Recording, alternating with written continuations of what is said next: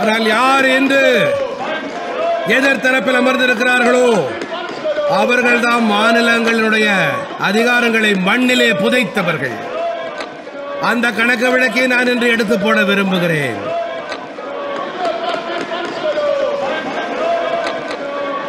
கொஞ்சம் சரித்திரத்தை எடுத்து புரட்டி பாருங்கள். எந்த கட்சியைச் சேர்ந்தவர்கள்? அப்போது யார் அதிகாரத்தில் அமர்ந்திருந்தார்கள்? அவர்கள் ஆர்டிகல் முன்னூற்றி ஐம்பத்தி ஆறினை மிக அதிகமாக முறைகேடாக பயன்படுத்தினார்கள் என்று. தொண்ணூறு முறைகள் தொண்ணூறு முறைகள் தேர்ந்தெடுக்கப்பட்ட அரசுகளை கவிழ்த்தார்கள் அவர்கள். யார் அவர்கள்? யார் இப்படி செய்தவர்கள்? யார் இப்படி செய்தவர்கள்? யார் இப்படி செய்தவர்கள்?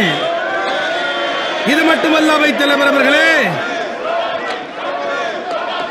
ஒரு பிரதம மந்திரியோ ஆர்டிகல் முன்னூற்றி ஐம்பத்தி ஆறினை ஐம்பது முறை பயன்படுத்தி இருக்கிறார். அரை சதமடித்து விட்டார். அவருடைய பெயர்தான் திருமதி இந்திரா காந்தி. ஐம்பது முறைகள் அரசாங்கங்களை கவிழ்த்திருக்கிறார்.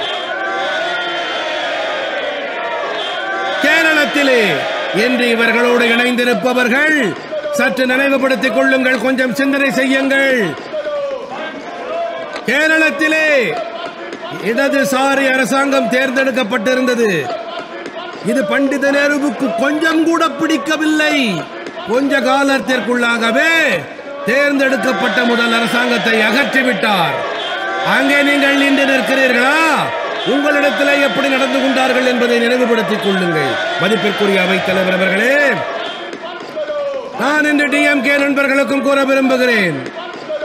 தமிழ்நாட்டிலே எம்ஜிஆர் மேலும் கருணாநிதி போன்ற ஜாம்பவான்களின் அரசுகள் அவர்களுடைய அரசுகளையும் கூட இதே காங்கிரஸ்காரர்கள் தான் அகற்றினார்கள்.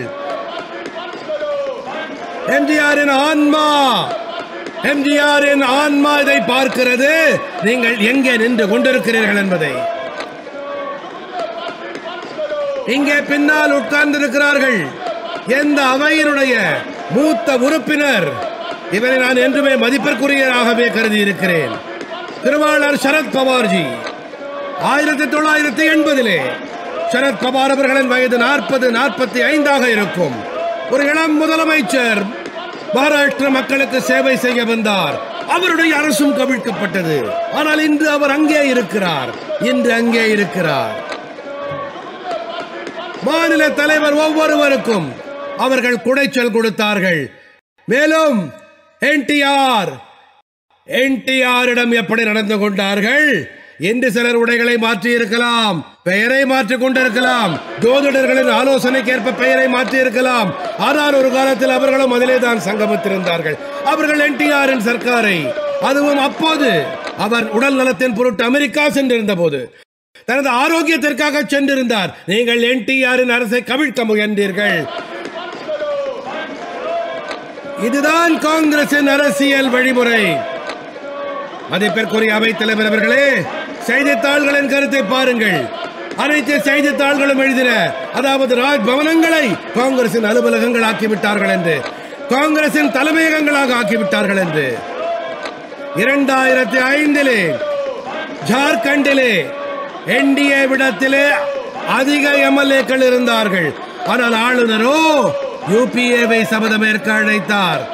ஆயிரத்தி தொள்ளாயிரத்தி எண்பத்தி இரண்டிலே ஹரியானாவிலே பாஜக மற்றும் தேவிலாலிடம் தேர்தலுக்கு முன்பான அவர்களின் ஒப்பந்தம் இருந்தது. இதை தாண்டியும் கூட ஆளுநர் ஆட்சி அமைக்க காங்கிரசுக்கு அழைப்பு விடுத்தார். இதுவே காங்கிரசின் பாவச் செயல்கள். ஆனால் இன்றோ தேசத்தை ஏமாற்றி விடலாம் என்று நினைக்கிறீர்கள்? மதிப்பிற்குரிய அவை தலைவர் அவர்களே நான் ஒரு விஷயத்தை தெரிந்து கொள்ள விரும்புகின்றேன்.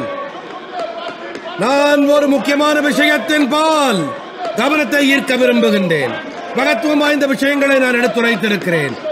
மேலும்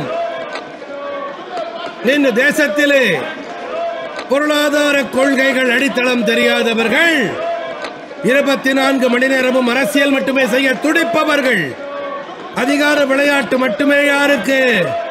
பொது வாழ்க்கை பணி என்று தெரிகிறதோ?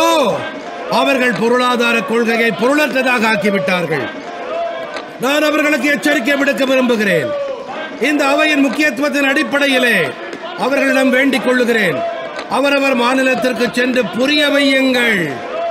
தவறான பாதையில் செல்ல வேண்டாம் என்று நமது அண்டை நாடுகள் நிலையை நீங்கள் பார்க்கிறீர்கள். அங்கே எல்லாம் என்ன நிலையாகி இருக்கிறது? கண்டமேனிக்கு கடன்களை வாங்கி எப்படி தேசத்தையே சீர்குலைத்து விட்டார்கள் என்று. இன்று நமது தேசத்திலும் கூட தற்காலிக ஆதாயத்திற்காக அனுபவிக்க வேண்டும் என்றால் வரவிருக்கும் தலைமுறையை அனுபவிக்கட்டும். கடன் வாங்கு. ஜிபிஓ என்ற விளையாட்டு வருபவர்கள் பார்த்துக் கொள்வார்கள். இந்த பாதையை தேர்ந்தெடுத்தவர்கள் அவர்களையே இது அழித்துவிடும். தேசத்தையும் இது அழித்துவிடும். இப்போது தேசங்கள் கடன் சுமையில் மூழ்கிக் கொண்டிருக்கின்றன. இந்த தேசங்களுக்கு கடன் அளிக்க யாரும் உலகிலே தயாராக இல்லை. இவர்கள் கஷ்டங்களை அனுபவிக்கிறார்கள். நம்மிடையே அரசியல் கருத்து வேறுபாடுகள் இருக்கலாம். கட்சிகள் என்ற முறையிலே பரஸ்பரம் ஒருவருக்கொருவர் விமர்சனங்களை செய்யலாம். ஆனால் தேசத்தின் பொருளாதார விஷயங்களிலே விளையாட்ட வேண்டாம். பொருளாதார விஷயங்கள் குறித்து விளையாடாதீர்கள். நீங்கள் அப்படிப்பட்ட ஒரு பாவச் செயலை செய்யாதீர்கள். அது உங்கள் குழந்தைகளின் உரிமைகளை பறிக்கலாம். இன்று நீங்கள் கும்மாளம் அடிக்கலாம். ஆனால் பிள்ளைகளின் எதிர்காலத்தை நாசமாக்கி செல்வீர்கள். அப்படி செய்யாதீர்கள். அரசியல் ரீதியாக இது உங்களுக்கு தோதாக இருக்கலாம். நானே இன்று கவனித்தேன்.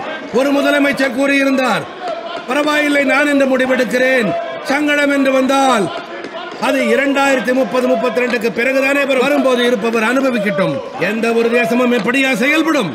ஆனால் உருவாகும் இந்த மனோபாவம் இது மிகவும் கவலை தரக்கூடிய விஷயம். மதிப்பிற்குரிய அவை தலைவர் அவர்களே தேசத்தின் பொருளாதார நலத்தின் பொருட்டு மாநிலங்களும் தங்கள் பொருளாதார நலனை கவனிக்க வேண்டும்.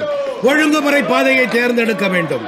மதிப்பிற்குரிய அவை தலைவர் அவர்களே அப்போதுதான் இந்த மாநிலங்களும் கூட இந்த வளர்ச்சி பயணத்தின் ஆதாயங்களை அனுபவிக்க முடியும். அவர்கள் மாநில குடிமக்களின் நலன்களை பேணுவதிலே எங்களுக்கும் வசதியாக இருக்கும். ஏனென்றால் நாங்கள் அவர்களுக்கு ஆதாயங்களை கொண்டு சேர்க்க விரும்புகிறோம். மதிப்பிற்குரிய அவை தலைவர் அவர்களே இரண்டாயிரத்தி நாற்பத்தி ஏழிலே இந்த தேசம் வளர்ச்சி அடைந்த பாரதமாக ஆவது இது நம் அனைவரின் உறுதிப்பாடாகும்.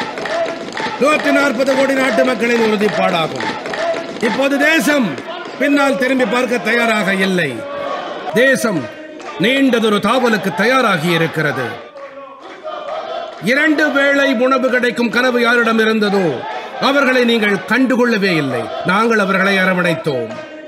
சமூக நீதி என்ற எதிர்பார்ப்பு யாருக்கு இருந்ததோ அவர்களை நீங்கள் கண்டுகொள்ளவில்லை. நாங்கள் அவர்களை அரவணைத்தோம்.